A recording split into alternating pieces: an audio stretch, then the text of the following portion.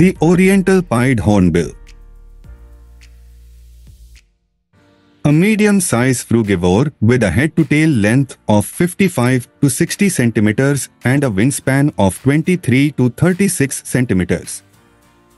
The bill measures 19 centimeters for males and 16 centimeters for female and weigh between 900 gram for males and 875 gram for females. The plumage of the head, neck, back, wings and upper breast is black with a slight green sheen. The tail is black with white tips on all the feathers except the central feathers.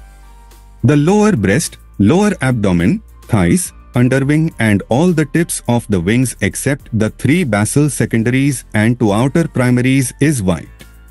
Males can be distinguished from females by their larger body size, yellow bill, which has a black base, and bright red eyes. Females have a slightly smaller body size, a yellow bill and casque with a partly black, brown patched mandible and grayish-brown eyes. Juvenile resemble the adults but have an undeveloped casque and a smaller bill.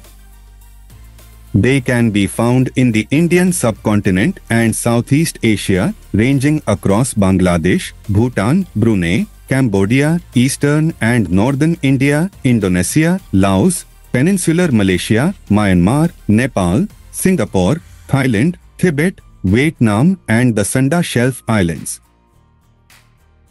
Their natural habitat is subtropical or tropical moist lowland forests.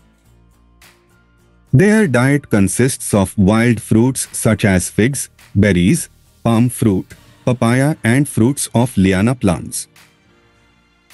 They also take large insects like grasshoppers and small birds like finches and small reptiles. They are generally monogamous and breed between January and June. They are not globally threatened and falls under least concern species. Thank you for watching. For more video kindly like and subscribe the channel.